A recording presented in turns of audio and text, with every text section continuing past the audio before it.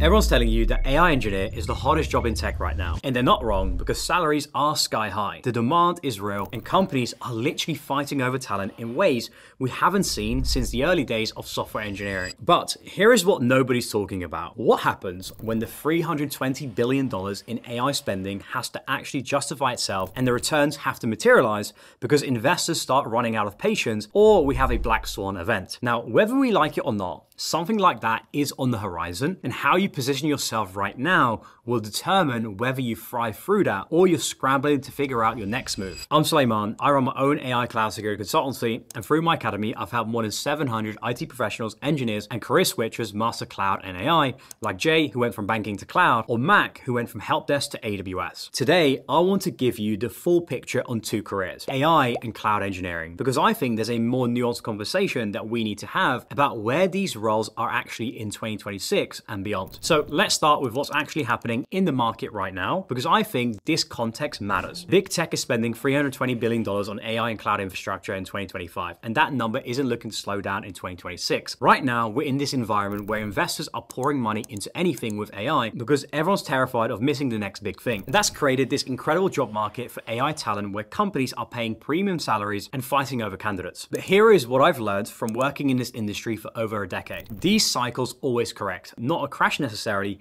but definitely correct. Because at some point, that spending has to show returns. And when it doesn't quite match to hype, companies will start getting more conservative about how they use and deploy AI. And that's what happens. And I think we'll start seeing this play out in 2026. Because let's be real, AI is revolutionary, yes. The profits and returns just aren't there right now. And companies aren't going to abandon AI because it's too valuable and the use cases are still there. But what they will do is change how they consume it. And this is where it gets interesting for your career. So instead of building custom solutions on raw OpenAI and Anthropic's APIs where you're managing everything yourself, in my opinion, companies are going to flee to the big cloud providers for safety and leverage of managed services on AWS like Bedrock or SageMaker or even AgentCore for agents because these are safer, they're more predictable, there's more trust, and they come with enterprise support, and the cost controls are built in. So the question then becomes, how do you position yourself to win regardless of which direction that the market moves in 2026 and beyond? And what I mean is, whether the AI bubble pops or not, what can you do to win as an engineer? Firstly, we need to understand what's actually happening in the AI job market because there's a lot of confusion out there, and I want to give you the real picture. So when you search for AI and machine learning jobs right now, you're going to see a few different titles and they're not all the same thing, even though companies sometimes use them interchangeably. Now, the biggest chunk of the market, we're talking about 70 to 80% of all AI and machine learning job postings,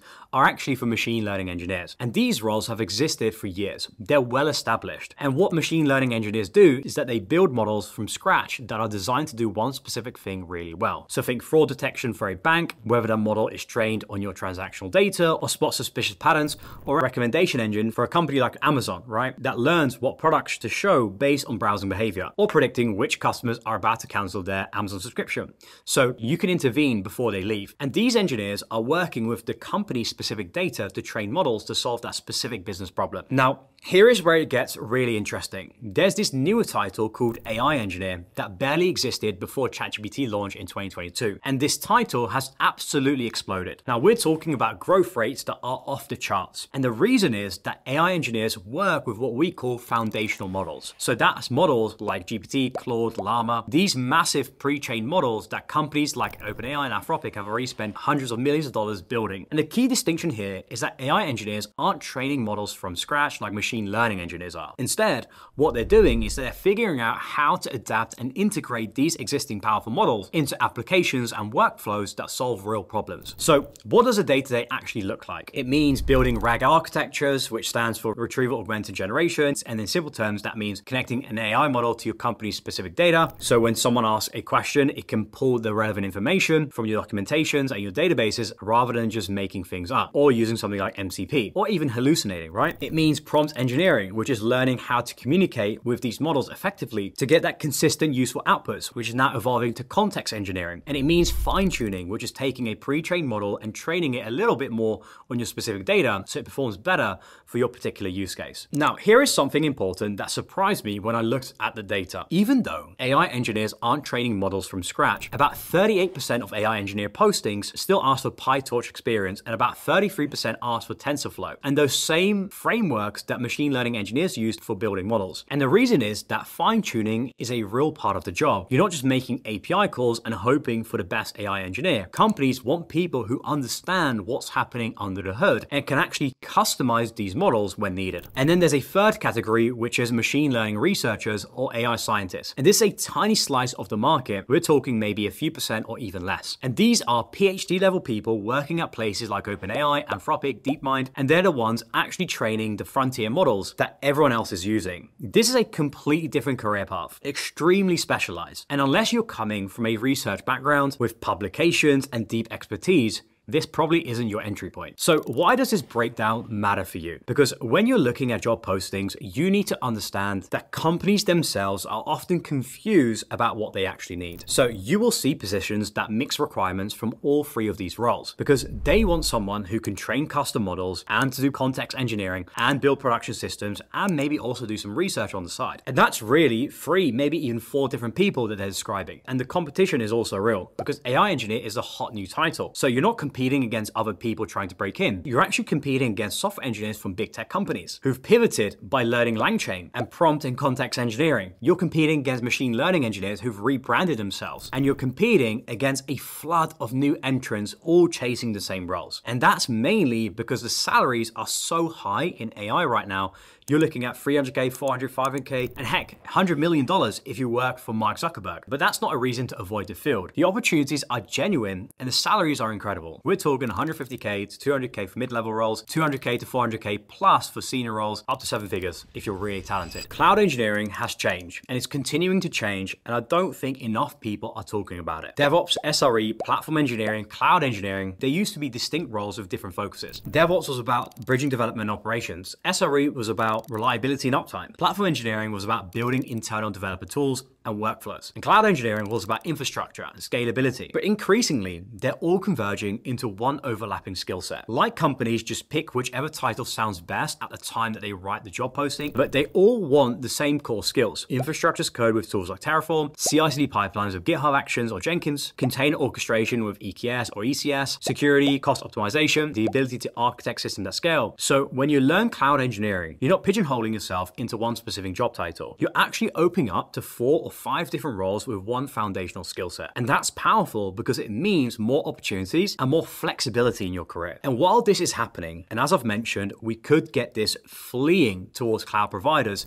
if the AI bubble pops, which is going to happen. And we're already seeing the big cloud providers like AWS becoming AI providers themselves right now because they offer services like Bedrock, which gives you access to foundational models in a secure environment from Anthropic and some open OpenAI models, you get Rekognition for image analysis, you get comprehend for text analysis, transcribe for speech to text, and dozens of other AI capabilities that you can just add to your applications through simple API calls. Which means as a cloud engineer learning AI, you're not learning two completely separate things. You're actually learning how to combine infrastructure knowledge with ready-made AI services that cloud providers offer. And that combination is powerful because you understand more of a complete picture when it comes to developing applications that need to scale. Now, I want to speak specifically to software engineers because your situation is a little bit different. And I think there's a path here that makes a lot of sense for you. If you already are a software engineer, the pivot to AI engineering is relatively straightforward. And this is because you already know how to code. You already understand APIs and system design and how to build production level applications. So learning LangChain and prompt and context engineering and RAG is just kind of adding new frameworks to your existing toolkit. It's not starting from scratch. And that's genuinely smart because it's a relatively small investment of time for a potentially significantly higher salary, and it makes you more valuable in a market where AI features are becoming expected to every product in every market. But here is the reality check. Because it's a natural pivot, every other software engineer has had the same idea. So when you enter the AI engineering market, you are competing against a lot of experienced developers who have basically made the same move, and that drives up the competition significantly for the same opportunities. But if you're a software engineer, learning cloud also makes a ton of sense because because increasingly you're expected to own the full life cycle from writing code, deploying it into production. The days of throwing code over the wall to an operational team, letting them figure out deployment has 100% gone. And having deep cloud skills means that you can actually architect and deploy your own applications end to end without actually depending on anyone else. So the question really becomes what's your risk tolerance and where do you see the bigger opportunity for your specific situation? But honestly, the best answer might be both. And let me explain why. So here is where I want to share something from my own experience because I think it really illustrates the actual opportunity here. I've built StudyTech, which is an AI-powered learning platform for AWS certification prep. And I've designed it myself and built it on AWS infrastructure, the architecture, the databases, the AI features that help students learn more effectively. All of it. Because when you have both cloud and AI engineering skills, you can go out and build a legitimate product that solves a real problem and have paying users. Those ChatGPT wrappers that everyone talks about, you can build them yourself. The SaaS idea you've been thinking about, you can build it yourself. And not just a prototype that falls over when real users touch it, an actual production system that scales and handles real traffic. And in a job market context, having both skill sets makes you virtually indestructible because you can operate anywhere on the spectrum. Pure infrastructure work, pure AI application development, or even the sweet spot in the middle when you're building AI powered systems on cloud infrastructure. So let me give you my take on how to think about this for 2026 and what I'd actually do if I was starting out today. Now, if the AI bubble corrects, and again, I don't mean crashes, I mean corrects to more sustainable levels where companies actually get more disciplined about AI spending. Cloud engineers are going to be absolutely fine because every single company still needs infrastructure regardless of what happens with the AI hype cycle. The cloud market is projected to hit $5 trillion over the next decade, and that demand isn't going anywhere. So, what happens to AI engineers in that scenario? Well, if you are an AI engineer who only knows how to call OpenAI APIs and nothing else, well, you might find yourself in a tough spot because to me, companies will be looking to consolidate their AI spending onto managed cloud services where costs are more predictable and it's more secure. Generally, by the way, everything is moving towards more managed services and hands off. Engineers are focusing more on architecting and system design. But if you are an AI engineer who also understands cloud infrastructure, if you can architect systems using Bedrock, Agent Core, SageMaker instead of just raw API calls directly to the open OpenAI providers, people who understand the full stack from infrastructure to the application layer, you're actually in a much stronger position because you can help companies make that transition. And if AI keeps accelerating at the current pace, well, both roles will win. So the asymmetric bet, the positioning that protects you in the downside and lets you win in the upside, is building strong cloud fundamentals and then layering AI skills on top. Because here is the thing every successful AI application is fundamentally running on cloud infrastructure. ChatGPT runs on a cloud. Cursor, Netflix, everything runs on the cloud, which you can tell, especially recently with all the breaches that we've had, whether it's AWS or Cloudflare, you can see how the internet is being run in the background on cloud platforms. So AI engineering or cloud are the places to be in 2026. And if you're looking to break into either, then I actually recommend starting with cloud as it's the easier and will have less competition. And from there, I'd look to add AI engineering as a phase two of your existing expertise and your career growth. As always, I'm rooting for you. I'll see you on the next one.